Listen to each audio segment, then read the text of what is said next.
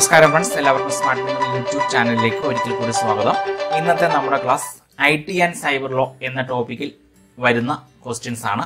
അപ്പോൾ previous questions ഇന്ന് നമ്മൾ ഇന്നത്തെ ക്ലാസ്സിൽ നമ്മൾ എടുത്തിരിക്കുന്നത് secretariat assistant two thousand eighteen exam അതുപോലെ company corporation board assistant exam two thousand eighteen and university assistant exam two thousand sixteen എന്നീ എക്സാമുകളിൽ നിന്നുള്ള പ്രീവിയസ് ക്വസ്റ്റ്യൻസ് ആണ് നമ്മൾ ചേർത്തിരിക്കുന്നത്. അപ്പോൾ ഈ ക്വസ്റ്റ്യൻസിന്റെ കൂടി അതിന്റെ അനുബന്ധ ക്വസ്റ്റ്യൻസ് അനുബന്ധ വിവരം കൂടി നമ്മൾ ചേർത്തിട്ടുണ്ട് വലിയ ലോഡ് ആകാത്ത രീതിയിൽ. അപ്പോൾ ഇത് ഇത്തരം ക്ലാസ്സിന്റെ ഫസ്റ്റ് പാർട്ടാണ് അപ്പോൾ പിന്നീട് നമ്മൾ ബാക്കി പാർട്ടുകൾ അപ്ലോഡ് ചെയ്യുന്നതാണ്. അപ്പോൾ നമുക്ക് ഇന്നത്തെ ക്ലാസ്സിലേക്ക് പോകാം. In computer logical operations are performed by കമ്പ്യൂട്ടറിൽ ലോജിക്കൽ ഓപ്പറേഷൻസ് പെർഫോം ചെയ്യുന്നത് ആരാണ് അല്ലെങ്കിൽ എന്താണ്? അപ്പോൾ നമുക്കറിയാം logical operations are performed by A L U arithmetic and logic unit ആണ്. എല്ലാ ലോജിക്കൽ ഓപ്പറേഷൻസും പെർഫോം ചെയ്യുന്നത്.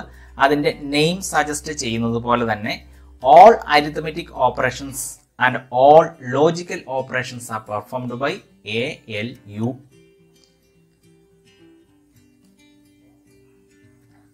ഇനി നമുക്കറിയാം സെൻട്രൽ പ്രോസസ്സിംഗ് യൂണിറ്റ് അതാണ് ബ്രെയിൻ ഓഫ് ദ കമ്പ്യൂട്ടർ അഥവാ സി പി യു എന്നറിയപ്പെടുന്നത്. സെൻട്രൽ പ്രോസസ്സിംഗ് യൂണിറ്റ് ആണ് ബ്രെയിൻ ഓഫ് ദ കമ്പ്യൂട്ടർ എന്ന് അറിയപ്പെടുന്നത്. ബ്രെയിൻ ഓഫ് ദ കമ്പ്യൂട്ടർ അഥവാ C P U central processing unit is divided into three parts മൂന്ന് parts ആയിട്ട് C P യുവിനെ തിരിച്ചിരിക്കുന്നു.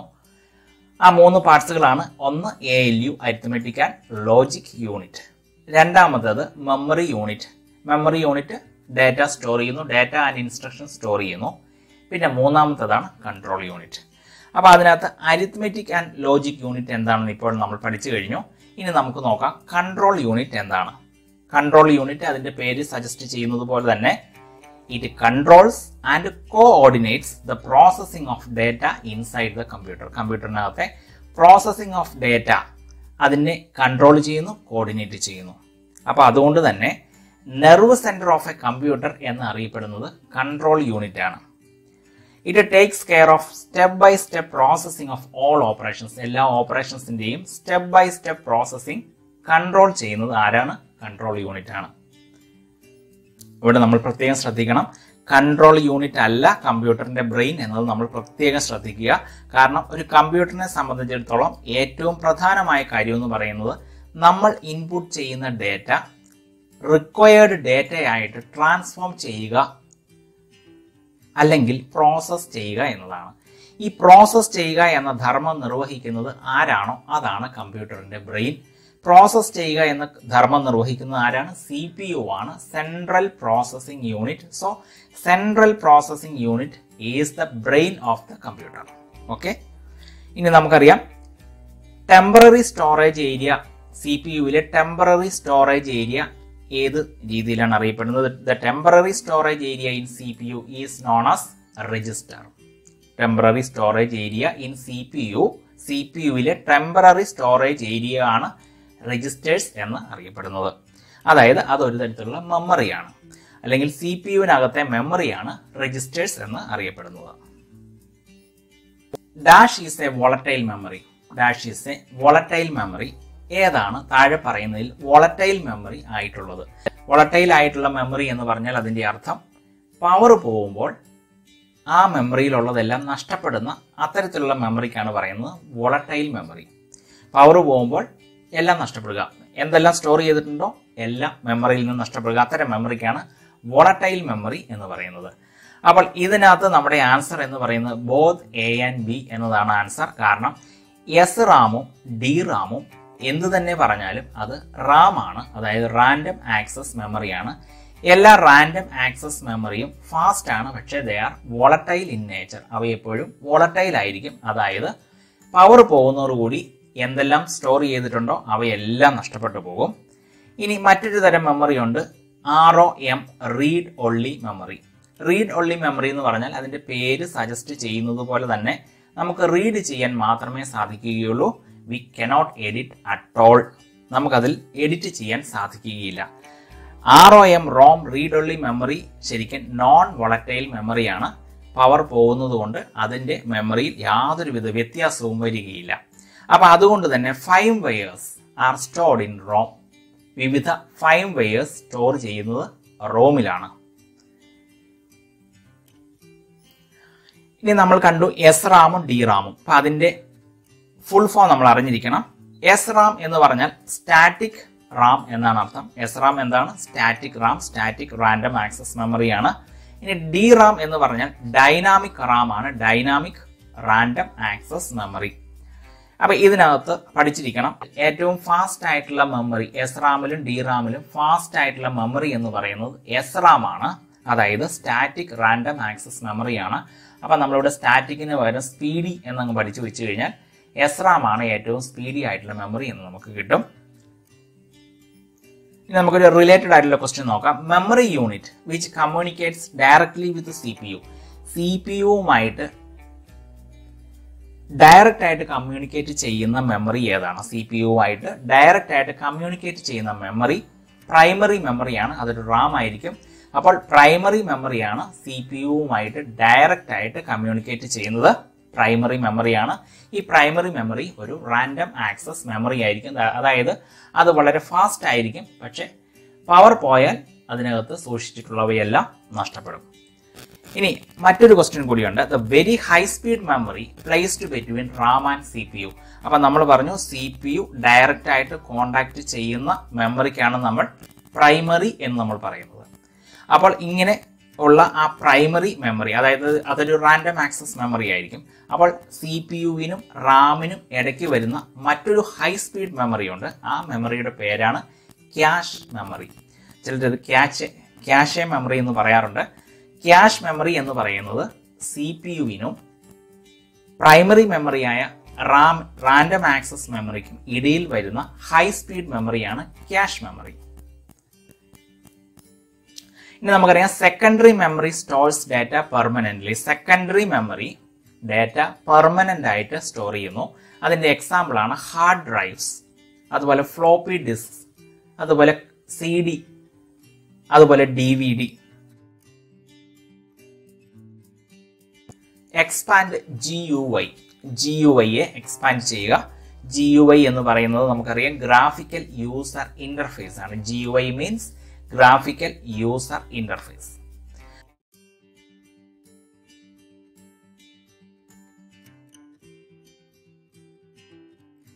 അപ്പോൾ ഇങ്ങനെയുള്ള ചില അബ്രിവിയേഷൻസ് ഇമ്പോർട്ടന്റ് അബ്രിവിയേഷൻസ് നമുക്ക് പഠിച്ചു വെക്കാം. അപ്പോൾ ഞാൻ മുഴുവനും പറയുന്നില്ല. വളരെ പതിയെ പതിയെ പതിയെ പതിയെ നമുക്ക് പഠിക്കാം.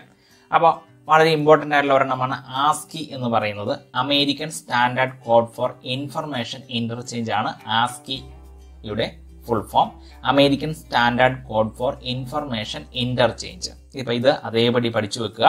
അതുപോലെ ബയോസ് എന്ന് പറയുന്നത് ബേസിക് ഇൻപുട്ട് ഔട്ട്പുട്ട് സിസ്റ്റമാണ് ബേസിക് ഇൻപുട്ട് ഔട്ട്പുട്ട് സിസ്റ്റമാണ് ബയോസ് ഇനി FAT F I T FAT എന്ന് പറയുന്നത് ഫയൽ അലോക്കേഷൻ ടേബിൾ ആണ്. ഫയൽ അലോക്കേഷൻ ടേബിൾ ആണ് F I T FAT D N S domain name സിസ്റ്റമാണ് D N S domain name system D O S operating system ആണ് D O S disk operating system ആണ് D O S DOS എന്ന് പറയുന്ന disk operating system GIF G I F GIF എന്ന് പറയുന്നത് graphics interchange format ആണ്. G I F GIF graphics interchange format G I F GIF നമ്മൾ എപ്പോഴും കേൾക്കുന്നതാണ്. അപ്പൊ ഗ്രാഫിക്സ് ഇന്റർചേഞ്ച് ഫോർമാറ്റ് ആണ്. G I F GIF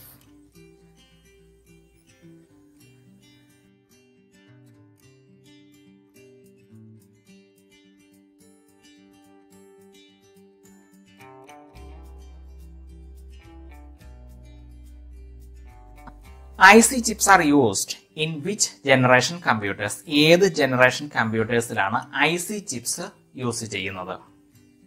അപ്പോൾ ഇതിന്റെ ആൻസർ വേറൊന്നുമില്ല. ഐ സി ചിപ്പ് യൂസ് ചെയ്യുന്നത് തേർഡ് ജനറേഷൻ കമ്പ്യൂട്ടേഴ്സിലാണ് അപ്പൊ നമുക്കറിയാം ഈ റേഡിയോയുടെ കാര്യം പറയുന്നത് പോലെ തന്നെ റേഡിയോ ആദ്യം വാക്വം ഉപയോഗിച്ചുള്ള റേഡിയോ ആയിരുന്നു. വാക്വം ട്യൂബ്സ് ഉപയോഗിച്ചുള്ള റേഡിയോ ആയിരുന്നു. അപ്പൊ അത് വളരെ വലിയതായിരുന്നു. അതിനുശേഷം ട്രാൻസിസ്റ്റർ റേഡിയോസ് പുറത്തിറങ്ങി. അതായത് ട്രാൻസിസ്റ്റേഴ്സ് ഉപയോഗിച്ചിട്ടുള്ള റേഡിയോ ആയിരുന്നു. വളരെ വിപ്ലവകരമായ മാറ്റമായിരുന്നു അപ്പോൾ ഉണ്ടായത്. റേഡിയോ വളരെ ചെറുതായി.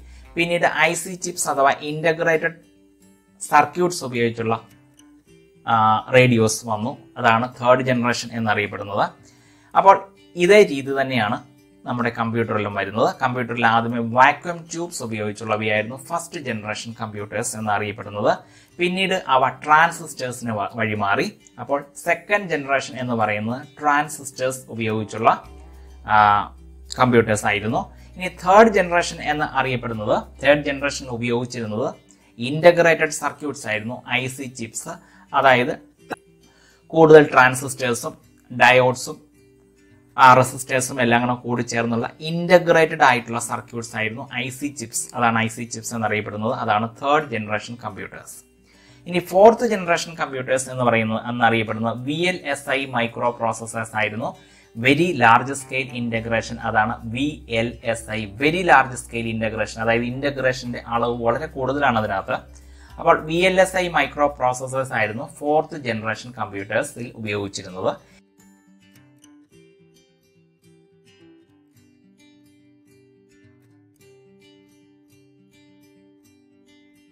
ഇനി അടുത്തത് വരുന്നത് ഡെവലപ്മെന്റൽ സ്റ്റേജിലാണ് അടുത്തത് വരുന്നത് ഫിഫ്ത്ത് ജനറേഷൻ കമ്പ്യൂട്ടേഴ്സ് ആണ്. U L S I microprocessors ultra large scale integration. അതാണ് യു എൽ എസ് ഐയുടെ full form ultra large scale integration. അതായത് ഇന്റഗ്രേഷൻ അളവ് ഇവിടെ വീണ്ടും കൂടുതലാണ്.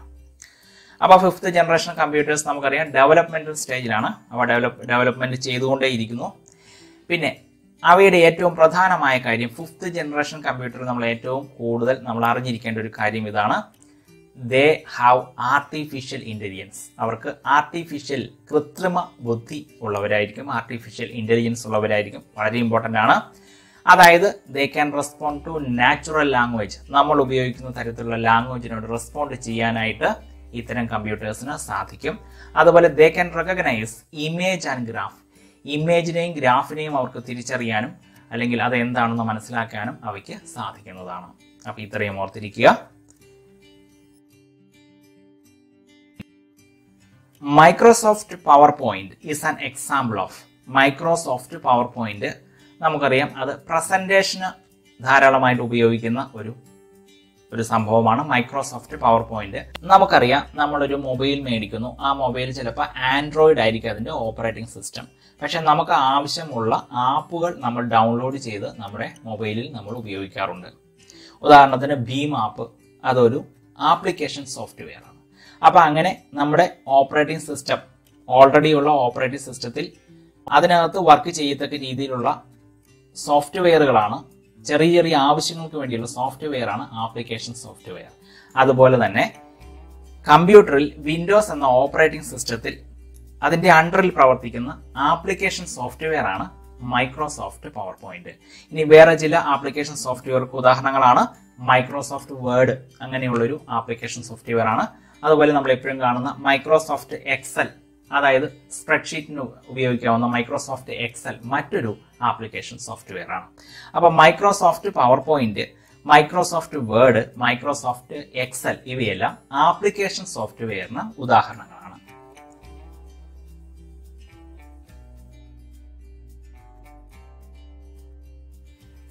Website is a collection of dash website എന്തിന്റെ കളക്ഷനാണ് സംശയിക്കാനൊന്നുമില്ല. Website is a collection of pages പേജുകളുടെ കളക്ഷനാണ് വെബ്സൈറ്റ് അപ്പൊ നമ്മളൊരു വെബ്സൈറ്റ് സന്ദർശിക്കുമ്പോൾ അതിന്റെ ആദ്യത്തെ പേജ് എന്ന് പറയുന്നത് ഹോം പേജ് എന്നാണ് അറിയപ്പെടുന്നത്.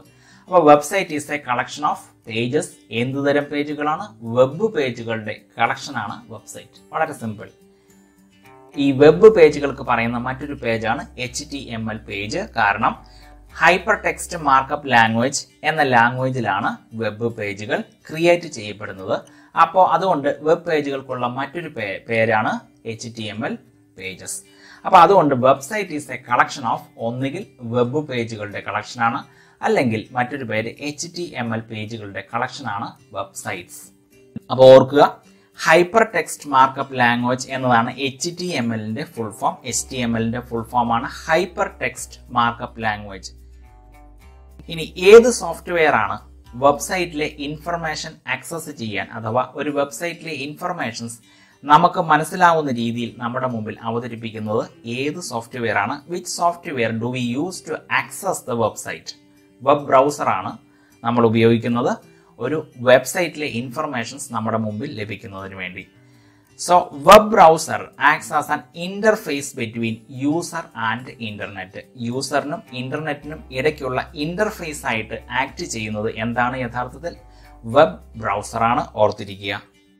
അതുപോലെ the link used to connect web pages is called അതായത് വിവിധ വെബ് പേജുകളെ തമ്മിൽ ഇന്റർലിങ്ക് ചെയ്യാൻ ഉപയോഗിക്കുന്ന ആ ഒരു ലിങ്കിന് പറയുന്ന പേരാണ് ഹൈപ്പർ ലിങ്ക് ഓർത്ത് വയ്ക്കുക ഹൈപ്പർ ലിങ്ക്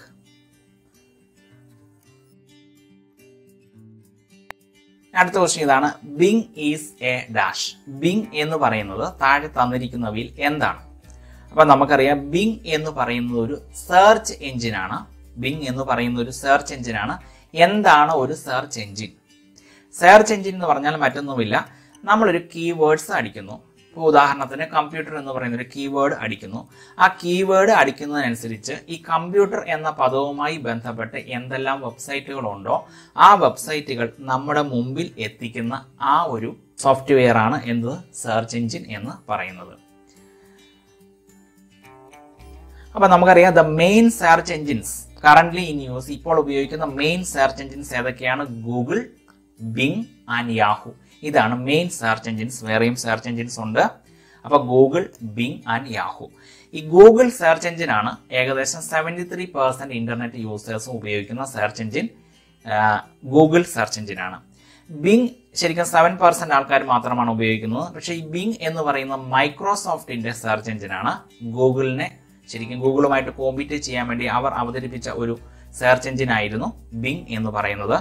രണ്ടായിരത്തി ഒൻപതിലാണ് അത് ലോഞ്ച് ചെയ്യുന്നത് അപ്പൊ Bing is the default search engine in Microsoft web browser Microsoft web ബ്രൗസറിനകത്ത് default ആയിട്ടുള്ള സെർച്ച് എഞ്ചിൻ എന്ന് പറയുന്നത് ബിങ് ആണ്.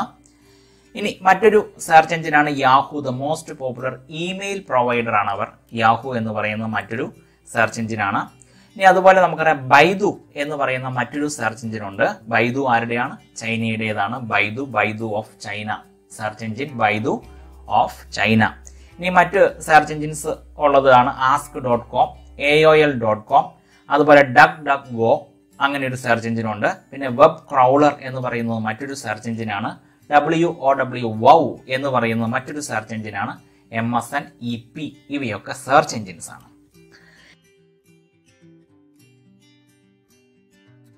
ഇനി അതുപോലെ നമ്മൾ ഓർത്തിരിക്കുക first search engine in the internet ആദ്യത്തെ സെർച്ച് എഞ്ചിൻ ലോകത്തിലെ ആദ്യത്തെ സെർച്ച് എഞ്ചിൻ ഏതായിരുന്നു? ആർക്കി എന്ന് പറയുന്നതാണ് ലോകത്തിലെ ആദ്യത്തെ search engine created in nineteen ninety ആയിരത്തി തൊള്ളായിരത്തി തൊണ്ണൂറിൽ അത് ക്രിയേറ്റ് ചെയ്യപ്പെട്ടു. ആരാണ് അത് ക്രിയേറ്റ് ചെയ്തത്? അലൻ എം ടേജ് എന്ന് പറയുന്ന ആളാണ് ആർക്കി എന്ന് പറയുന്ന first search engine in the world create ചെയ്തത്. ഇനി first search engine in India ഇന്ത്യയിലെ ആദ്യത്തെ സെർച്ച് എഞ്ചിൻ ഏതായിരുന്നു? ഗുരുജി ആയിരുന്നു ഇന്ത്യയിലെ ആദ്യത്തെ സെർച്ച് എഞ്ചിൻ ഓർത്തിരിക്കാം. Guruji is the first search engine in India.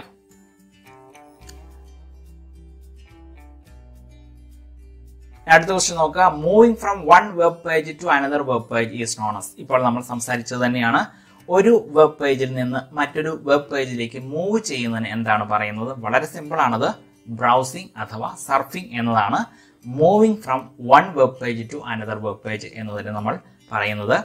Browsing or surfing is moving from one web page to another ഓർത്തിരിക്കുക.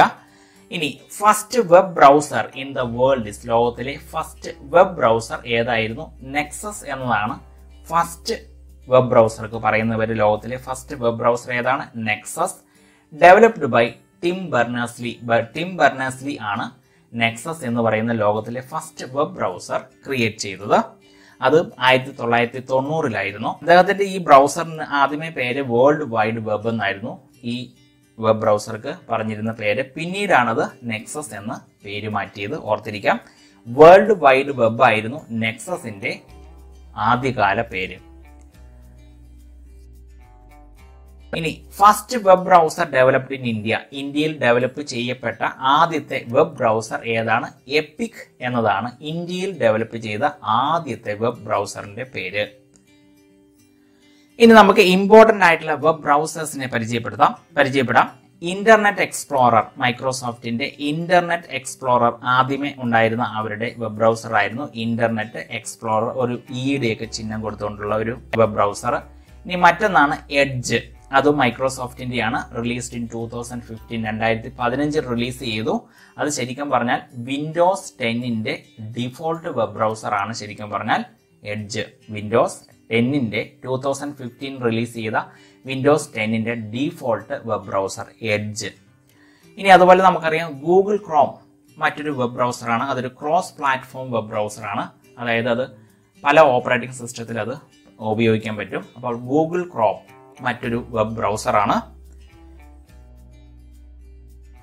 ഇനി അതുപോലെ തന്നെ മോസില്ല ഫയർഫോക്സ് മറ്റൊരു web ബ്രൗസറാണ് free and open source web ബ്രൗസറാണ് ശരിക്കും Mozilla Firefox Mozilla Firefox free and open source web ബ്രൗസറാണ് ഇനി Safari മറ്റൊരു important ആയിട്ടുള്ള web ബ്രൗസറാണ് സഫാരി വെബ് ബ്രൗസർ എന്ന് പറയുന്നത് ആപ്പിളിന്റെ വെബ് ബ്രൗസറാണ് സഫാരി വെബ് ബ്രൗസർ ഓർത്തിരിക്കാം. ആപ്പിളിന്റെ വെബ് ബ്രൗസറാണ് സഫാരി ഇനി മറ്റൊരെണ്ണം Mosaic the first popular web browser ആണ് ശരിക്കും പറഞ്ഞാൽ മാർക്ക് ആൻഡ്രീസന്റെ മൊസൈക്ക് എന്ന് പറയുന്ന വെബ് ബ്രൗസർ ഓർത്തിരിക്കാം. ഇനി അടുത്ത ക്വസ്റ്റ്യൻ ഇതാണ്. The brain of a computer system ഇത് എന്താണ്? കമ്പ്യൂട്ടർ സിസ്റ്റത്തിന്റെ ബ്രെയിൻ അപ്പൊ നമ്മളത് ഓൾറെഡി പറഞ്ഞു കഴിഞ്ഞതാണ്.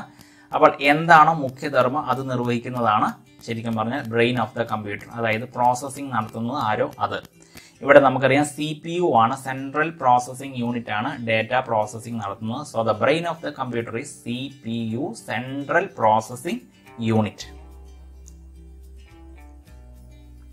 and input device that interprets pencil bar pen marks on paper media അതായത് പെൻസിൽ പേന മാർക്കുകളെ ഇന്റർപ്രറ്റ് ചെയ്യുന്ന ഒരു ഇൻപുട്ട് ഡിവൈസിന്റെ പേരെന്താണ്? ആ ഇൻപുട്ട് ഡിവൈസിന്റെ പേരാണ് ഓപ്റ്റിക്കൽ മാർക്ക് റീഡർ അത് നമുക്ക് വളരെ പരിചിതമാണ്. കാരണം ഒ എം ആർ വാല്യുവേഷൻ അതൊക്കെയാണ് ഇപ്പോൾ പി എസ് സി നടക്കുന്നത്.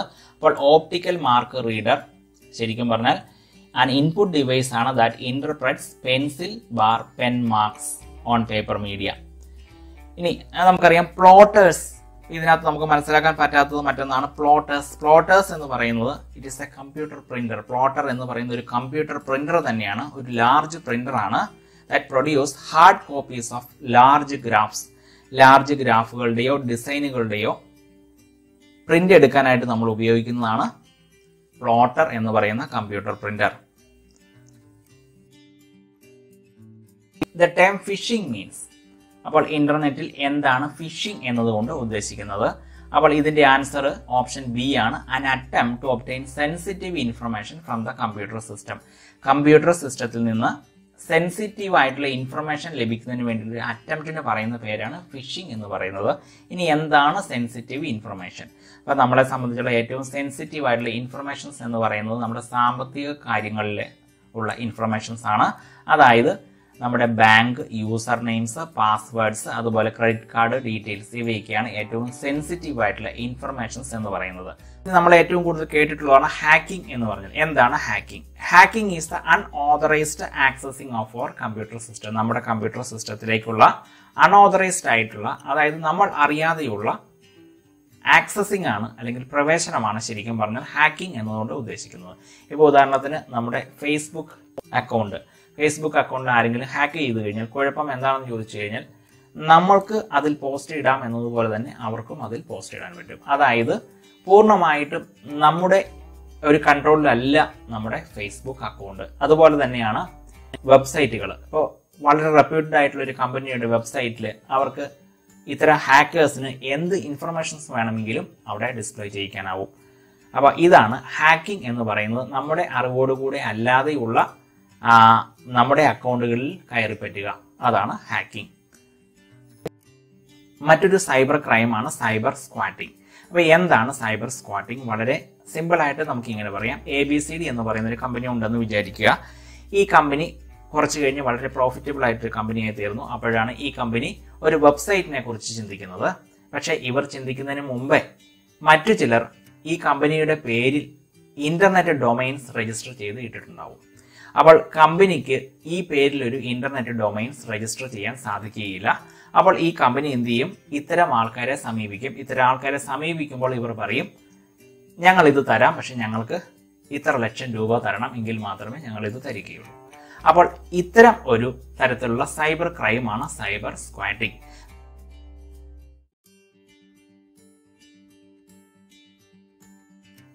ഇനി മറ്റൊരു സൈബർ ക്രൈമാണ് സൈബർ വാൻഡലിസം.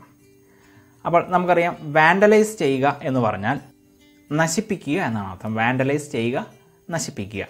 അപ്പോൾ സൈബർ വാൻഡലിസം എന്ന് പറഞ്ഞാൽ ഇത്ര മാത്രമേ ഉള്ളൂ. വെറുതെ ഇൻഫർമേഷൻസ് അല്ലെങ്കിൽ ഡേറ്റ ഒരു സിസ്റ്റത്തിലെ ഇൻഫർമേഷൻസ് അല്ലെങ്കിൽ ഡേറ്റ ചുമ്മാ നശിപ്പിച്ച് കളയുക. Purely for their own enjoyment and pleasure അതായത് അവർക്ക് അതിൽ നിന്ന് ഒരു പ്രോഫിറ്റ് വേണ്ട വെറുതെ ഒരു രസത്തിന്. അങ്ങനെ വെറുതെ ഒരു രസത്തിന് ഡേറ്റ അല്ലെങ്കിൽ ഇൻഫർമേഷൻസ് നശിപ്പിച്ച് കളയുന്നതിന് പറയുന്ന പേരാണ് സൈബർ വാൻഡലിസം ഓർത്തു വയ്ക്കുക സൈബർ വാൻഡലിസം. ഇനി അടുത്തതാണ് സൈബർ സ്റ്റോക്കിംഗ്. എന്താണ് സൈബർ സ്റ്റോക്കിംഗ്? സ്റ്റോക്കിംഗ് അല്ലെങ്കിൽ ഹരാസിംഗ് ആൻ ഇൻഡിവിജ്വൽ ഗ്രൂപ്പ് അല്ലെങ്കിൽ ഓർഗനൈസേഷൻ. ഒരു ഓർഗനൈസേഷൻ അല്ലെങ്കിൽ ഗ്രൂപ്പിനെ അല്ലെങ്കിൽ ഒരു ഇൻഡിവിജ്വലിനെ ഹരാസ് ചെയ്യുക. Using the internet or other electronic devices. Electronic devices വഴിയോ അല്ലെങ്കിൽ ഇന്റർനെറ്റ് വഴിയോ നിരന്തരം ഹരാസ് ചെയ്യുന്ന ആ ഒരു സൈബർ ക്രൈമിന് പറയുന്ന പേരാണ് സൈബർ സ്റ്റോക്കിംഗ്. ഇനി മറ്റൊരു ഇമ്പോർട്ടന്റ് ആയിട്ടുള്ള ഒരു cyber ക്രൈമാണ് data diddling data diddling data diddling എന്ന് പറയുന്നത് unauthorized altering of data data unauthorized ആയിട്ട് ഓൾട്ടർ ചെയ്യുക before or during entry into a computer system ഒരു കമ്പ്യൂട്ടർ സിസ്റ്റത്തിലേക്ക് എൻട്രി ചെയ്യുന്ന സമയത്തോ അതിന് മുമ്പായോ ഡേറ്റ ഓൾട്ടർ ചെയ്യുക. Most often by a data entry clerk or a computer virus ഒന്നുകിൽ അത് ചെയ്യുന്നത് ഡേറ്റ എൻട്രി ചെയ്യുന്ന ക്ലർക്ക് ആയിരിക്കും ഡേറ്റ എൻട്രി ക്ലർക്ക് ആയിരിക്കും. അല്ലെങ്കിൽ അതിനുവേണ്ടി ഡിസൈൻ ചെയ്യപ്പെട്ടിരിക്കുന്ന ഒരു കമ്പ്യൂട്ടർ വൈറസ് ആയിരിക്കും അത് ചെയ്യുക. സാമ്പത്തിക ലാഭത്തിന് വേണ്ടിയാണ് സാധാരണ ഇത് ചെയ്യുക. ഇനി മറ്റൊന്നാണ് പ്ലാജിയാറിസം പ്ലാജിയാറിസം എന്ന് പറഞ്ഞാൽ നമുക്കറിയാം മറ്റൊരാളുടെ കലാസൃഷ്ടികളോ ആശയങ്ങളോ ചിന്തകളോ മോഷ്ടിച്ച് നമ്മുടെ സ്വന്തമായിട്ട് അവതരിപ്പിക്കുക. ഇതാണ് ശരിക്കും പറഞ്ഞാൽ പ്ലാജിയാറിസം എന്ന് പറയുന്നത്. ഇതേ സംഭവം തന്നെ ഇന്റർനെറ്റ് ചെയ്തു കഴിഞ്ഞാൽ അത് ഇന്റർനെറ്റ് പ്ലാജിയാറിസം ആകും. അത്ര മാത്രമേ ഉള്ളൂ. ഇനി മറ്റൊന്നാണ് സൈബർ പോർണോഗ്രാഫി സൈബർ പോർണോഗ്രാഫി എല്ലാവർക്കും അറിയാവുന്നതാണ്. Is the portrayal of sexual pictures or videos through electronic devices or internet അതിനാണ് സൈബർ പോർണോഗ്രാഫി എന്ന് പറയുന്നത്. സെക്ഷുവൽ ആയിട്ടുള്ള കണ്ടന്റുകൾ അല്ലെങ്കിൽ വീഡിയോകൾ ഇലക്ട്രോണിക് ഡിവൈസിൽ കൂടെ അല്ലെങ്കിൽ ഇന്റർനെറ്റിൽ കൂടെ പ്രചരിപ്പിക്കുക. That is called cyber pornography okay I T act information technology act എന്നാണ് അമെൻഡ് ചെയ്തത്. I T act in India was amended in എന്നാണ് ഇന്ത്യയിൽ അമെൻഡ് ചെയ്തത്. അപ്പോൾ ഇന്ത്യയിൽ അമെൻഡ് ചെയ്തത് അത് two thousand എയ്റ്റിലാണ് cyber laws cyber laws contain ചെയ്യുന്നത് അല്ലെങ്കിൽ സൈബർ ലോസ് ഉള്ളത് ഏതിലാണ്? The information technology act two തൗസൻഡിലാണ് I T act two തൗസൻഡിലാണ് സൈബർ ലോസ് ഉള്ളത്. അപ്പോൾ അവർക്ക് ഇൻഫർമേഷൻ ടെക്നോളജി ആക്ട് ടൂ തൗസൻഡിലാണ് സൈബർ നിയമങ്ങൾ ഉൾപ്പെടുത്തിയിരിക്കുന്നത്. I T act two thousand came into force on October seventeen two thousand October seventeen two തൗസൻഡിലാണ് I T act two thousand നിലവിൽ വന്നത്. ഇനി I T act two thousand ഏത് വർഷമാണ് amend ചെയ്തത്? രണ്ടായിരത്തി എട്ടിലാണ് I T act two thousand substantially വളരെ കാര്യമായ രീതിയിൽ അമെൻഡ് ചെയ്തിട്ടുള്ളത്. ഇനി ഐ ടി അമെൻമെന്റ് act two thousand eight I T അമെൻമെന്റ് ആക്ട് ടൂ തൗസൻഡ് എയ്റ്റ് എപ്പോഴാണ് നിലവിൽ വന്നത്? October twenty seven two thousand നയനിലാണ്. ഇനി U R L stands for U R L എന്നതിന്റെ ഫുൾ ഫോം എന്താണ്? U R L stands for uniform resource locator ആണ് U R L U R L എന്ന് പറയുന്നത് uniform resource locator ആണ് അപ്പോൾ ഒരു uniform resource locator എന്ന് പറഞ്ഞാൽ അതൊരു ശരിക്കും പറഞ്ഞാൽ ഒരു വെബ് അഡ്രസ് ആണ്. A uniform resource locator is termed as a web address അപ്പൊ നമുക്കൊരു എക്സാമ്പിൾ നോക്കാം. അപ്പോൾ one example of a U R L is അപ്പോൾ താഴെ തന്നിട്ടുണ്ട് എച്ച് ടി ടി പി കൂട്ടിയൊരു യു ആർ എൽ തന്നിട്ടുണ്ട്. അത് ശരിക്കും പറഞ്ഞാൽ മൈക്രോസോഫ്റ്റിന്റെ വെബ് അഡ്രസ് ആണ് ഈ താഴെ തന്നിരിക്കുന്നത്. അപ്പോൾ യു ആർ എൽ എന്ന് പറയുന്നത് uniform resource locator it is the web address അത് ഒരു വെബ് അഡ്രസ് ആണ്. Which of the following programming languages classified as low level language താഴെ പറയുന്നതിൽ ഏതാണ് ലോ ലെവൽ ലാംഗ്വേജ് ആയിട്ടുള്ളത്? അപ്പോൾ നമുക്കറിയാം കോബോൾ ഫോർട്രാൻ ജാവ ഇവയൊക്കെ ഹൈ ലെവൽ ലാംഗ്വേജ് ആണ്. അപ്പൊ തന്നിരിക്കുന്നവയിൽ M A S M MASM എന്ന് പറയുന്നതാണ് ശരിക്കും പറഞ്ഞാൽ ലോ ലെവൽ ലാംഗ്വേജ് എന്ന രീതിയിൽ നമുക്ക് ഗണിക്കാവുന്നത്. ദി മൈക്രോസോഫ്റ്റ് മാക്രോ അസംബ്ലർ അതാണ് MASM the Microsoft macro assembler അത് യഥാർത്ഥത്തിൽ ഒരു അസംബ്ലർ ആണ്. അസംബ്ലർ എന്ന് വെച്ചാൽ നമുക്കറിയാം അസംബ്ലി ലാംഗ്വേജിനെ മെഷീൻ ലാംഗ്വേജിലേക്ക് കൺവേർട്ട് ചെയ്യുന്ന പ്രോഗ്രാം ആണ് അസംബ്ലർ എന്നറിയപ്പെടുന്നത്. എന്തായാലും ഇവിടെ answer M A S M MASM എന്നതാണ്. അസംബ്ലർ ആണെങ്കിൽ കൂടിയും നമ്മുടെ ആൻസർ ഇവിടെ എം എ എം മാസമാണ് ദ മൈക്രോസോഫ്റ്റ് മാക്രോ അസംബ്ലർ ഇനി നമ്മളിവിടെ അറിഞ്ഞിരിക്കേണ്ടത് ലോ ലെവൽ ലാംഗ്വേജസും ഉണ്ട് ഹൈ ലെവൽ ലാംഗ്വേജസും ഉണ്ട്. അപ്പോൾ അതിനകത്ത് നമുക്ക് ലോ ലെവൽ ലാംഗ്വേജസ് ആദ്യം എടുക്കാൻ low level languages are of two types രണ്ട് തരത്തിലാണ് ലോ ലെവൽ ലാംഗ്വേജസ് ഉള്ളത്. ഒരെണ്ണം മെഷീൻ ലാംഗ്വേജ് മറ്റേത് അസംബ്ലി ലാംഗ്വേജ് അപ്പൊ ഇതിനകത്ത് മെഷീൻ ലാംഗ്വേജ് എന്ന് പറയുന്നത് നമ്മൾ ഓർത്തിരിക്കുക. മെഷീൻ ലാംഗ്വേജ് എന്ന് പറയുന്നത് കമ്പ്യൂട്ടറിന് മനസ്സിലാകാവുന്ന ഒരേ ഒരു ഭാഷയാണ് മെഷീൻ ലാംഗ്വേജ് കമ്പ്യൂട്ടറിന് മനസ്സിലാക്കാൻ സാധിക്കുന്ന ഒരേ ഒരു ഭാഷ മെഷീൻ ലാംഗ്വേജ് ആണ്. മെഷീൻ ലാംഗ്വേജ് യഥാർത്ഥത്തിൽ ബൈനറി ലാംഗ്വേജ് ആണ്. എന്താണ് machine language it is binary language എന്ന് പറഞ്ഞാൽ ടു ഡിജിറ്റ്സ് സീറോയും വണ്ണും മാത്രമേ ഉള്ളൂ ആ ലാംഗ്വേജിൽ ആ സീറോയുടെയും വണ്ണിന്റെയും കോമ്പിനേഷൻ ആയിരിക്കും ബൈനറി ലാംഗ്വേജ് അഥവാ മെഷീൻ ലാംഗ്വേജ് അത് മനുഷ്യന് മനസ്സിലാക്കാൻ വളരെ പ്രയാസമാണ്. അപ്പൊ അതുകൊണ്ട് തന്നെയാണ് ഇത്തരം ലാംഗ്വേജുകളെ ലോ ലെവൽ ലാംഗ്വേജസ് എന്ന് വിശേഷിപ്പിക്കുന്നത്. ഇനി അടുത്തത് അസംബ്ലി ലാംഗ്വേജ് ആണ്. അസംബ്ലി ലാംഗ്വേജ് എന്ന് പറയുന്നത് ഒരു ലോ ലെവൽ ലാംഗ്വേജ് തന്നെയാണ്.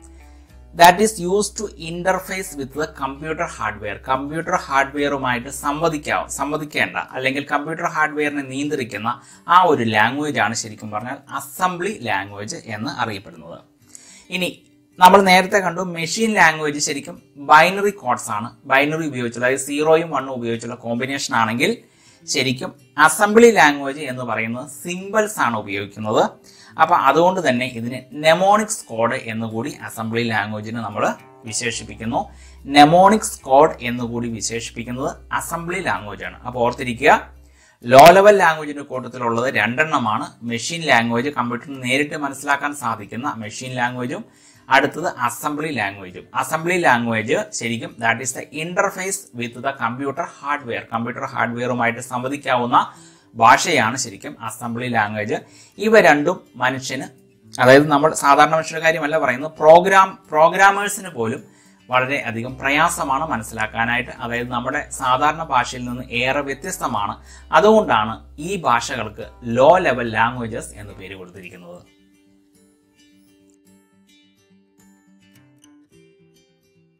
ഇനി എന്താണ് high level languages high level ലാംഗ്വേജസിലാണ് യഥാർത്ഥത്തിൽ പ്രോഗ്രാമേഴ്സ് പ്രോഗ്രാംസ് റൈറ്റ് ചെയ്യുന്നത്. പ്രോഗ്രാംസ് റൈറ്റ് ചെയ്യുന്നത് പ്രോഗ്രാമേഴ്സ് പ്രോഗ്രാം റൈറ്റ് ചെയ്യുന്ന ഭാഷയാണ് ഹൈ ലെവൽ ലാംഗ്വേജസ് ഇനി ഹൈ ലെവൽ ലാംഗ്വേജിന് പറയുന്ന മറ്റൊരു പേരാണ് source code high level language is also called source code ഓർത്തിരിക്കുക സോഴ്സ് കോഡ് എന്ന് അറിയപ്പെടുന്നത് ഹൈ ലെവൽ ലാംഗ്വേജ് ആണ്. ഇനി നമ്മൾ പറഞ്ഞു ലോ ലെവൽ ലാംഗ്വേജ് സാധാരണ മനുഷ്യന്റെ ഭാഷയുമായിട്ട് മനസ്സിലാക്കാനായിട്ട് പറ്റുന്നില്ല. പക്ഷേ ഹൈ ലെവൽ ലാംഗ്വേജ് എന്ന് പറയുന്നത് സാധാരണ നാച്ചുറൽ ഭാഷയുമായിട്ട് കുറച്ചൊക്കെ സാമ്യമുള്ള ഭാഷയാണ്. അതായത് പ്രോഗ്രാമേഴ്സിന് നമുക്കല്ല പ്രോഗ്രാമേഴ്സിന് വളരെ ഈസി ആയിട്ട് മനസ്സിലാക്കാൻ പറ്റുന്ന ഭാഷയായതുകൊണ്ടാണ് അതിനെ ഹൈ ലെവൽ ലാംഗ്വേജസ് എന്ന് വിളിക്കുന്നത്. ഇനി examples of high level languages high level ലാംഗ്വേജസിന്റെ example ഏതൊക്കെയാണ്? Java C C plus plus Fortran COBOL BASIC ഇവയെല്ലാം ഹൈ ലെവൽ ലാംഗ്വേജസിന് ഉദാഹരണമാണ്. ബേസിക്കിന്റെ ഫുൾ ഫോം നമുക്കറിയാം. ബേസിക്കിന്റെ ഫുൾ ഫോം എന്താണ്? Beginners all purpose symbolic instruction code എന്നതാണ് ബേസിക്കിന്റെ full form ബേസിക്കിന്റെ full form beginners all purpose symbolic instruction code അതുപോലെ പാസ്കൽ മറ്റൊരു ഹൈ ലെവൽ ലാംഗ്വേജ് ആണ്.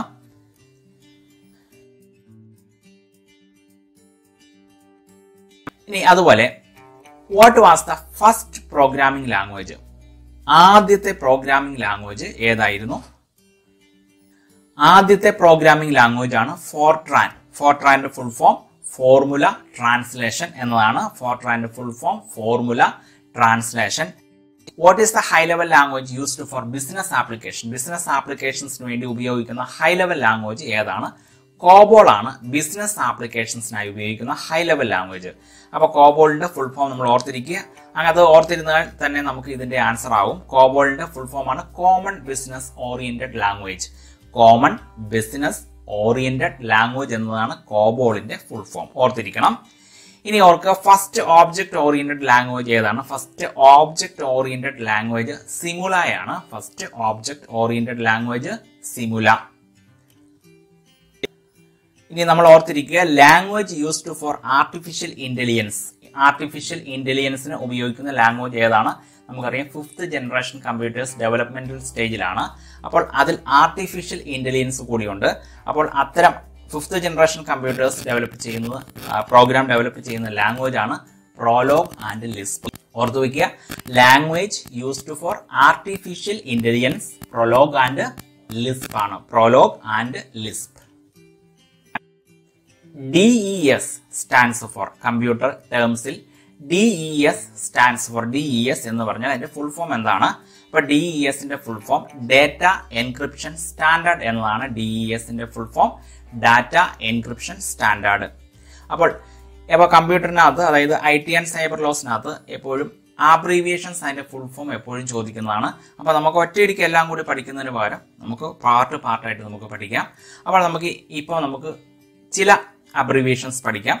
സി ആർ ടി നമുക്കറിയാവുന്നതാണ് സി ആർ ടി എന്ന് പറയുന്നത് പണ്ടത്തെ ടി വിക്കകത്ത് ഉപയോഗിച്ചുകൊണ്ടിരുന്നതാണ്. സി ആർ ടി എന്താണ്? Cathode ray tube.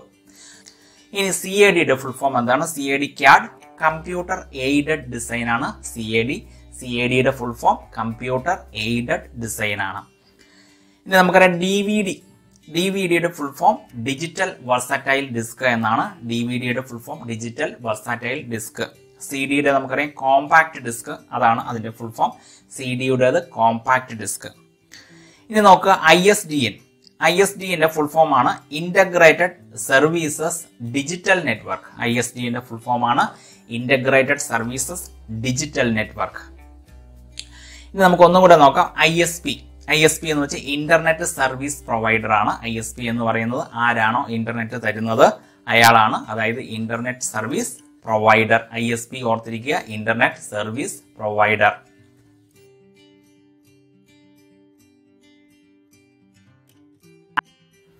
the program that monitors users activity on internet and transmit that information in background to somewhere else in is termed as അതായത് ഇവിടെ പറയുന്ന ഇത്രയേ ഉള്ളൂ യൂസേഴ്സ് ഇന്റർനെറ്റിൽ എന്ത് ആക്ടിവിറ്റിയാണ് ചെയ്യുന്നത് അതിനെ മോണിറ്റർ ചെയ്യുന്നു ഒരു പ്രോഗ്രാം എന്നിട്ട് കിട്ടിയ ഇൻഫർമേഷൻസ് വേറെ എങ്ങോട്ടോ പാസ് ചെയ്യുന്നു. അപ്പോൾ ഇതിന് എന്താണ് പേര് പറയുന്നത്? അല്ലെങ്കിൽ ആ പ്രോഗ്രാമിന് എന്താണ് പേര് പറയുന്നത്? നമുക്കറിയാം. ഇത് കേൾക്കുമ്പോഴേ നമുക്കറിയാം. ഇതൊരു ചാര പ്രവർത്തനം പോലെയാണ്. അപ്പോൾ അതുകൊണ്ട് അത്തരം പ്രോഗ്രാമിന് പറയുന്ന പേരാണ് spyware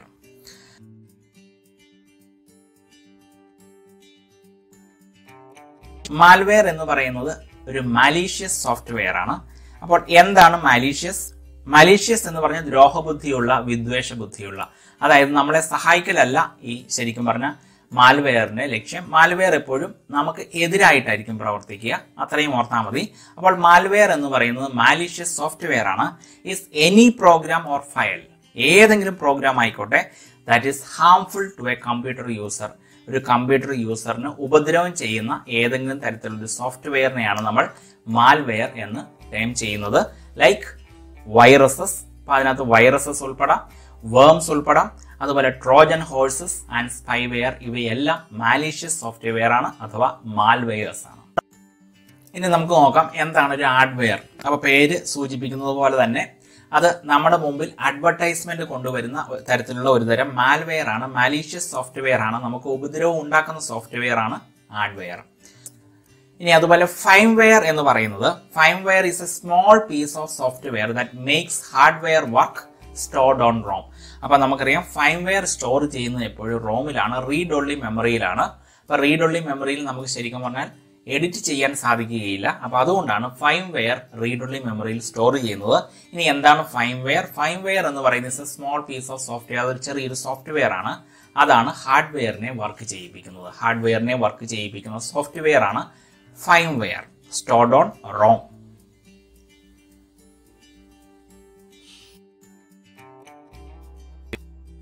the process of recovering deleted and damaged files from criminals computers comes under. അപ്പോൾ പറയുന്ന ഇത്ര മാത്രമേ ഉള്ളൂ. ഒരു കുറ്റവാളിയുടെ കമ്പ്യൂട്ടറിൽ നിന്ന് അയാൾ ഡിലീറ്റ് ചെയ്തതോ അതായത് അയാൾ നശിപ്പിച്ചതോ അല്ലെങ്കിൽ ഡാമേജ് ആയി പോയതോ ആയ ഫയൽസ് റിക്കവർ ചെയ്യുന്നത് ഏതിന്റെ കീഴിലാണ് അല്ലെങ്കിൽ ഏത് ഡിപ്പാർട്ട്മെന്റിന്റെ കീഴിലാണ് വരിക? നമുക്കറിയാവുന്നത് കമ്പ്യൂട്ടർ ഫോറൻസിക്സ് എന്ന വിഭാഗത്തിന്റെ കീഴിലാണ് ഒരു കുറ്റവാളിയുടെ കമ്പ്യൂട്ടറിൽ നിന്ന് അയാൾ ഡിലീറ്റ് ചെയ്തതോ അല്ലെങ്കിൽ നശിപ്പിക്കപ്പെട്ടതോ ആയ ഫയൽസ് റിക്കവർ ചെയ്യുന്നത് കമ്പ്യൂട്ടർ ഫോറൻസിക്സിന്റെ കീഴിലാണ് വരിക. അതുപോലെ ഓർത്തു വയ്ക്കുക the first cyber forensic laboratory C F L of India the first cyber forensic laboratory C F L of India was established in Tripura ത്രിപുരയിലാണ് ആദ്യമായിട്ട് ഇന്ത്യയുടെ സൈബർ ഫോറൻസിക് ലബോറട്ടറി ആദ്യത്തെ സൈബർ ഫോറൻസിക് ലബോറട്ടറി സ്ഥാപിതമാകുന്നത് ത്രിപുരയിലാണ്. അത് ഓഗസ്റ്റ് രണ്ടായിരത്തി പതിമൂന്നിലാണ് സ്ഥാപിതമാകുന്നത് ത്രിപുര ഹൈക്കോർട്ടിലാണ്. ഓർത്തു വെക്കുക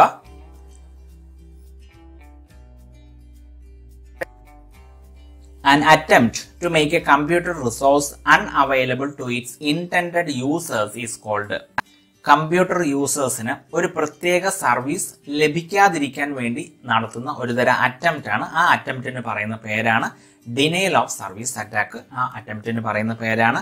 Denial of service attack service ഏതെങ്കിലും തരത്തിൽ ഡിനെയിൽ നടത്തുക അതായത് നിഷേധിക്കുക. അത്തരം ഒരു അറ്റാക്കാണ് ഡിനയൽ ഓഫ് സർവീസ് അറ്റാക്ക് അഥവാ ഡി ഒ എസ് എന്ന് അറിയപ്പെടുന്നത്. അപ്പൊ നമുക്ക് ഡി ഒ എസിന് ഡിനെയിൽ ഓഫ് സർവീസ് അറ്റാക്കിന് എക്സാമ്പിൾ നോക്കാം.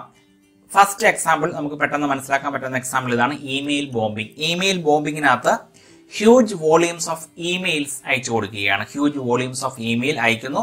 അങ്ങനെ ഇമെയിൽ അയക്കുന്നത് വഴി അത് കൈകാര്യം ചെയ്യുന്ന സെർവർ അവിടെ തകരാറിലാക്കുകയാണ് ചെയ്യുന്നത്. അങ്ങനെ ആ ഒരു സെർവറിൽ നിന്ന് ലഭ്യമാകാവുന്ന അല്ലെങ്കിൽ ആ ഒരു സെർവറിൽ നമ്മൾ രജിസ്റ്റർ ചെയ്തിരിക്കുന്ന വെബ്സൈറ്റുകളിൽ നിന്നുള്ള എല്ലാ ഇൻഫർമേഷൻസും അല്ല അല്ലെങ്കിൽ അല്ലെങ്കിൽ എല്ലാ സർവീസുകളും അതോടുകൂടി നമുക്ക് നഷ്ടമാകുന്നു അപ്പോൾ ഇതാണ് ഇമെയിൽ ബോംബിംഗ് എന്നതുകൊണ്ട് ഉദ്ദേശിക്കുന്നത്. ഇനി മറ്റൊരു എക്സാമ്പിൾ ആണ് പിങ് ഓഫ് ഡെത്ത് ഇനി മറ്റൊരു എക്സാമ്പിൾ ആണ് S Y N flooding S Y N flooding മറ്റൊരു ഡിനയൽ ഓഫ് സർവീസ് അറ്റാക്കിന് എക്സാമ്പിൾ ആണ്. Who is considered to be the first programmer ആരാണ് ലോകത്തിലെ ഫസ്റ്റ് പ്രോഗ്രാമർ ആയി കൺസിഡർ ചെയ്യപ്പെടുന്നത്? നമുക്കറിയാതെ അഡ ലൗലേസ് എന്ന് പറയുന്ന വ്യക്തിയാണ്. Ada Lovelace A D A Ada Lovelace എന്ന് പറയുന്ന വ്യക്തിയാണ് the first programmer in the world ആയിരത്തി എണ്ണൂറ്റി നാൽപ്പത്തി രണ്ടിലായിരുന്നു അഡാ ലൗലേസ് ലോകത്തിലെ ആദ്യത്തെ കമ്പ്യൂട്ടർ പ്രോഗ്രാം എഴുതിയത്. ആയിരത്തി എണ്ണൂറ്റി നാൽപ്പത്തി രണ്ടിലായിരുന്നു ലോകത്തിലെ ആദ്യത്തെ കമ്പ്യൂട്ടർ പ്രോഗ്രാം അഡാ ലൗലേസ് എഴുതുന്നത്.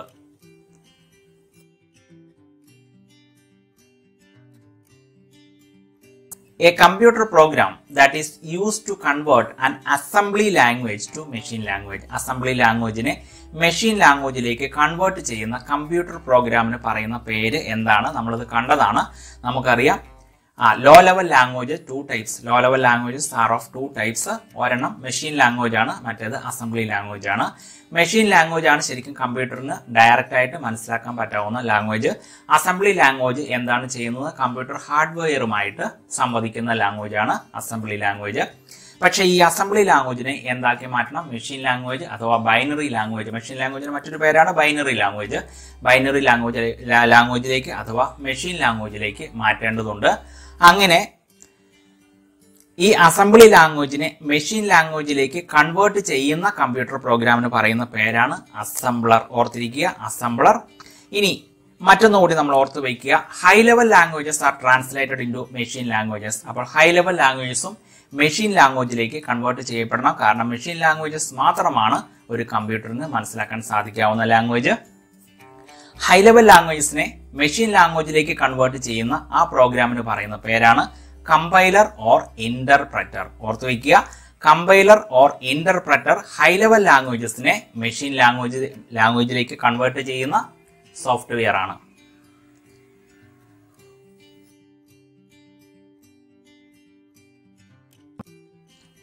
A device that modulates signal to encode digital information and demodulates signal to decode the transmitted information.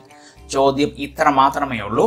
Modulate സിഗ്നലുകളെ മോഡുലേറ്റ് ചെയ്യുകയും ഡിമോഡുലേറ്റ് ചെയ്യുകയും ചെയ്യുന്ന ഡിവൈസിന്റെ പേരെന്താണ്? സിഗ്നലുകളെ മോഡുലേറ്റ് ചെയ്യുകയും ഡിമോഡുലേറ്റ് ചെയ്യുകയും ചെയ്യുന്നത് മോഡമാണ്. Modem is the modulator demodulator അപ്പൊ ശരിക്കും മോഡം ചെയ്യുന്നത് ഇത്ര മാത്രമേ ഉള്ളൂ. ടെലഫോൺ ലൈനിലെ അനലോഗ് സിഗ്നലുകളെ കമ്പ്യൂട്ടറിലേക്ക് കയറ്റാനായിട്ട് ഡിജിറ്റൽ സിഗ്നലുകളാക്കി മാറ്റുന്നു. തിരിച്ച് കമ്പ്യൂട്ടർ ലൈനിലേക്ക് പ്രവേശിപ്പിക്കുമ്പോൾ ഡിജിറ്റൽ സിഗ്നലുകളെ അനലോഗ് സിഗ്നലുകളാക്കി മാറ്റുന്നു. അപ്പോൾ ഇതാണ് ശരിക്കും മോഡം ചെയ്യുന്നത്. Modem is the modulator demodulator ഇനി ഇനി അതുപോലെ speed of modem is measured in മോഡത്തിന്റെ speed ഏതിലാണ് പറയുന്നത്? ബിറ്റ്സ് പെർ സെക്കൻഡ് എന്നതാണ് മോഡത്തിന്റെ സ്പീഡ് എക്സ്പ്രസ് ചെയ്യുന്നത്. Bits per സെക്കൻഡിലാണ് codes consisting of light and dark marks of various thickness which may be optically read is known as അപ്പോൾ നമുക്കറിയാം ഈ ചിത്രത്തിൽ കാണിച്ചിരിക്കുന്നത് പോലെ വ്യത്യസ്ത തിക്നസ് ഉള്ള ലൈറ്റ് ആൻഡ് ഡാർക്ക് മാർക്കുകൾ അപ്പൊ അതാണ് ശരിക്കും പറഞ്ഞാൽ ബാർ കോഡ്സ് എന്ന് അറിയപ്പെടുന്നത്. അപ്പൊ ഇത് നമുക്ക് റീഡ് ചെയ്യാൻ പറ്റും. അപ്പൊ അത് അതൊരു റീഡർ ഉപയോഗിച്ച് റീഡ് ചെയ്യാൻ പറ്റും. എന്നിട്ട് അതിനകത്ത് ഇൻഫർമേഷൻസ് നമുക്ക് ലഭിക്കും. അപ്പൊ അതാണ് ബാർ കോഡ് എന്ന് അറിയപ്പെടുന്നത്. Dot M P G extension refers usually to what kind of file ഏത് തരത്തിലുള്ള ഫയലുകൾക്കാണ്. Dot M P G extension ഉള്ളത്? അപ്പോൾ അത് നമുക്കറിയാം. അത് മൂവി ഫയലിനാണ് സാധാരണ dot M P G extension ഉണ്ടാവുക. അനിമേഷൻ ബാർ മൂവി ഫയലുകൾക്കാണ് ഇനി മറ്റു ചില എക്സാമ്പിൾ നോക്കാം. മൂവി ഫയലിന്റെ എക്സ്റ്റൻഷൻ ആയിട്ട് വരുന്നത് ഡോട്ട് എ വി ഐ വരാറുണ്ട്. അതുപോലെ ഡോട്ട് ത്രീ ജി പി വരാറുണ്ട്. അതുപോലെ ഡോട്ട് എം ഒ വി വരാറുണ്ട്. Dot M P four dot M P E G dot W M V ഇവയെല്ലാം മൂവി ഫയലിന്റെ എക്സ്റ്റൻഷനുകളാണ് the inventor of world wide web world wide വെബിന്റെ inventor ആരാണ്? World wide വെബിന്റെ inventor Tim Berners Lee ആണ്. World wide വെബിന്റെ inventor Tim Berners Lee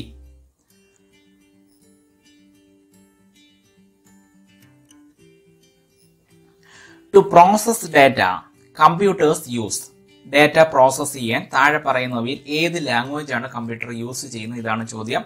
അപ്പോൾ നമുക്കറിയാം data process ചെയ്യാൻ high level language machine language assembly language ഇവയെല്ലാം use ചെയ്തിട്ടാണ് data computer process ചെയ്യുന്നത്. So നമ്മുടെ ആൻസർ ഇവിടെ എന്തായിരിക്കും? All the above എന്നതായിരിക്കും. All the above which one of the following is not an operating system താഴെ പറയുന്നവയിൽ operating system അല്ലാത്തത് ഏതാണ്?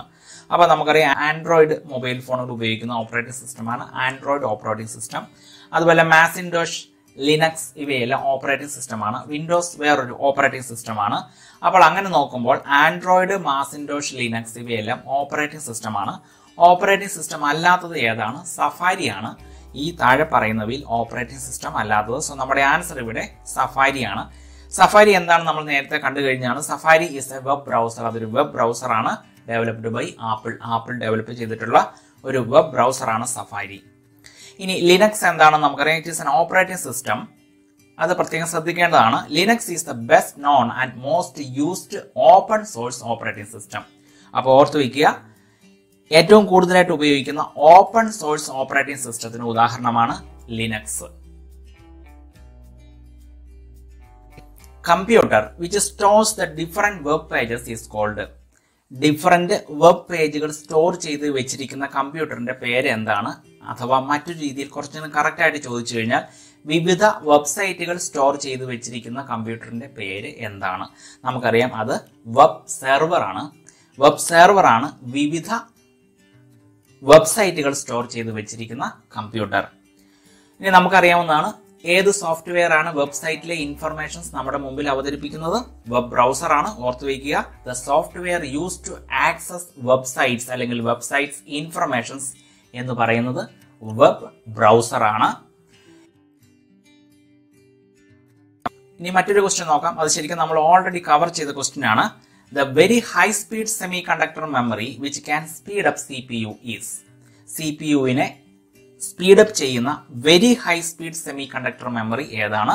നമുക്കറിയാം അത് ക്യാഷ് മെമ്മറിയാണ് ക്യാഷ് മെമ്മറി നമുക്കറിയാം സി പി യുവിനും പ്രൈമറി മെമ്മറിക്കും ഇടയിലായിട്ട് വെച്ചിരിക്കുന്ന ഒരു മെമ്മറിയാണ് cache memory C P U നേരിട്ട് സമ്മതിക്കുന്ന തരത്തിലുള്ള മെമ്മറിയാണ് പ്രൈമറി മെമ്മറി എന്ന് നമ്മൾ പഠിച്ചിട്ടുണ്ട്. അപ്പോൾ സി പി യുവിനും പ്രൈമറി മെമ്മറിക്കും ഇടയിൽ സി പി യുവിന് സ്പീഡ് കൂട്ടാൻ വേണ്ടി വെച്ചിരിക്കുന്ന മറ്റൊരു വെരി ഹൈ സ്പീഡ് മെമ്മറിയാണ് ക്യാഷ് മെമ്മറി ഓർത്ത് വയ്ക്കുക cache memory section which provides punishment for sending offensive messages through communication services. അപ്പോൾ ഒഫൻസീവ് മെസ്സേജസ് സെൻഡ് ചെയ്യുന്നത് കൊണ്ട് മാത്രം ഒരാളെ ഒരാളെ ശിക്ഷിക്കാനുള്ള അധികാരം ഗവൺമെന്റിന് നൽകുന്ന സെക്ഷനാണ് ഏത് സെക്ഷനാണത് സെക്ഷൻ അറുപത്തി ആറ് എ ആണ്. ഒഫൻസീവ് മെസ്സേജസ് അയക്കുന്നതുകൊണ്ട് ഒരാളെ അറസ്റ്റ് ചെയ്യാനുള്ള പ്രൊവിഷൻ ഉള്ളത് സെക്ഷൻ അറുപത്തി ആറ് എയിലാണ് അപ്പോൾ നമുക്കറിയാം ഐ ടി ആക്ട് നിലവിൽ വന്നത് two തൗസൻഡിലാണ് I T act two thousand അത് പിന്നീട് ടൂ തൗസൻഡ് എയ്റ്റിൽ ഒന്ന് അമെൻഡ് ചെയ്തിട്ടുണ്ട്. അമെൻമെന്റ് നടത്തിയിട്ടുണ്ട്. ആ അമെൻമെന്റിന്റെ കൂടെ വന്ന ഒരു സെക്ഷനാണ് സെക്ഷൻ അറുപത്തി ആറ് എ അപ്പോൾ ഈ സെക്ഷൻ അറുപത്തി ആറ് എയിലാണ് ഒഫൻസീവ് മെസ്സേജ് അയക്കുന്നവരെ വേണമെങ്കിൽ ഗവൺമെന്റിന് അറസ്റ്റ് ചെയ്യാം. പക്ഷെ പിന്നീട് രണ്ടായിരത്തി പതിനഞ്ചിൽ ബഹുമാനപ്പെട്ട സുപ്രീം കോടതി ഈ സെക്ഷൻ അറുപത്തി ആറ് എ ക്യാൻസൽ ചെയ്തിരുന്നു. സെക്ഷൻ അറുപത്തി ആറ് എ സുപ്രീം കോടതി രണ്ടായിരത്തി പതിനഞ്ചിൽ ക്യാൻസൽ ചെയ്തിരുന്നു.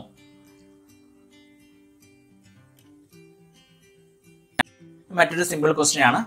I B M stands for simple ആണെങ്കിലും എപ്പോഴും ചോദിക്കാവുന്ന ഒരു ക്വസ്റ്റ്യൻ ആണ്. ഐ ബി എം എന്താണ് ഐ ബി എം നമുക്കറിയാം ഐ ബി എം എം എന്ന് പറയുന്ന ഇന്റർനാഷണൽ ബിസിനസ് മെഷീൻ ആണ് ഐ ബി എം എന്ന് അറിയപ്പെടുന്നത്.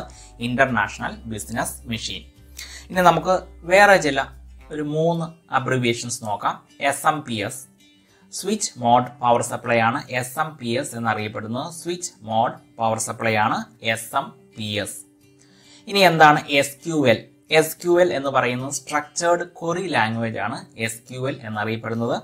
സ്ട്രക്ചേർഡ് കൊറി ലാംഗ്വേജ് ആണ്. അതുപോലെ യു പി എസ് എന്താണ് നമ്മൾ കേട്ടിട്ടുണ്ട്? യു പി എസ് എന്ന് പറയുന്നത് അല്ലെങ്കിൽ യു പി എസിന്റെ full form uninterruptible power supply ആണ്. അൺഇന്ററപ്റ്റിബിൾ പവർ സപ്ലൈ ആണ് യു പി എസ് എന്ന് അറിയപ്പെടുന്നത്.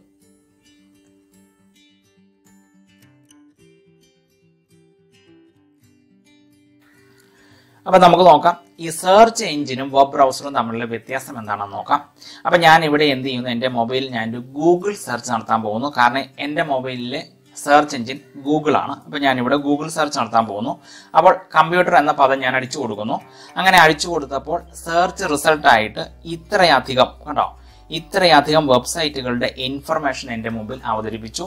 ഇങ്ങനെ ഞാൻ അല്ലെങ്കിൽ നമ്മൾ അടിച്ചു കൊടുക്കുന്ന വേർഡ്സ് അല്ലെങ്കിൽ കീവേഡ്സ് അനുസരിച്ച് വിവിധ വെബ്സൈറ്റുകളെ നമ്മുടെ മുമ്പിൽ മുമ്പിൽ സെർച്ച് ചെയ്ത് അവതരിപ്പിക്കുന്നത് ആരാണ്? സെർച്ച് എഞ്ചിനുകളാണ് ഇവിടെ ഗൂഗിൾ സെർച്ച് എഞ്ചിനാണ് എന്റെ മുമ്പിൽ അവതരിപ്പിച്ചത്. അപ്പൊ ഇതോടുകൂടി ഗൂഗിൾ സെർച്ച് എഞ്ചിന്റെ ധർമ്മം അവസാനിച്ചു.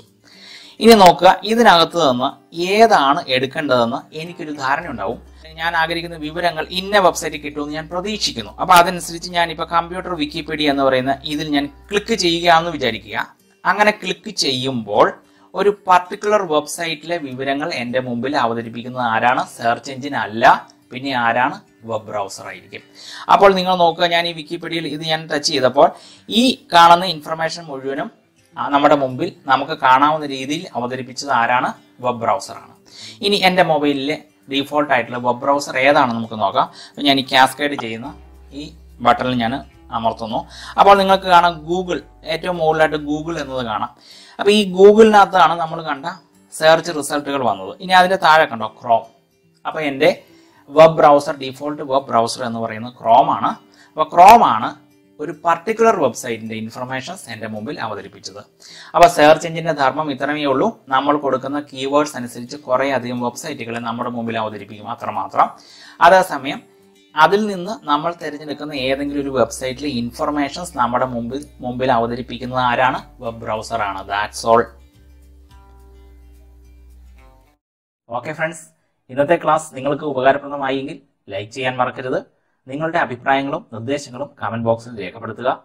അതുപോലെ ആദ്യമായാണ് ചാനൽ കാണുന്നതെങ്കിൽ സബ്സ്ക്രൈബ് ചെയ്യുക. ബെൽ ബട്ടൺ കൂടി അമർത്തുകയാണെങ്കിൽ പുതിയ ക്ലാസ്സുകൾ അപ്ലോഡ് ചെയ്യുമ്പോൾ തന്നെ മൊബൈലിൽ നോട്ടിഫിക്കേഷൻ ലഭിക്കുന്നതാണ്. ഓക്കെ